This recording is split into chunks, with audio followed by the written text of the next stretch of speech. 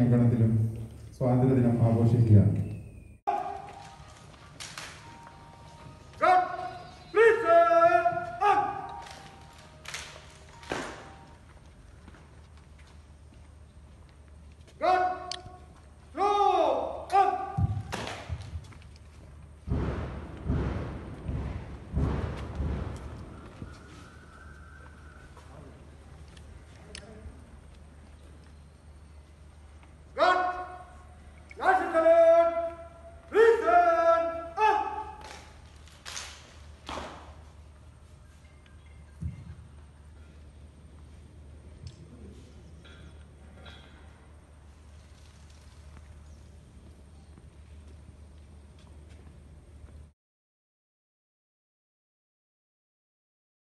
മാണ് അതുപോലെ തന്നെ ഷൈജ റഫൂസ് സ്വയം സംരംഭകയാണ് അവർ സ്വയ പ്രയത്നത്താൽ ഒത്തിരി സ്ഥാപനങ്ങൾ നടത്തി വരുന്നു.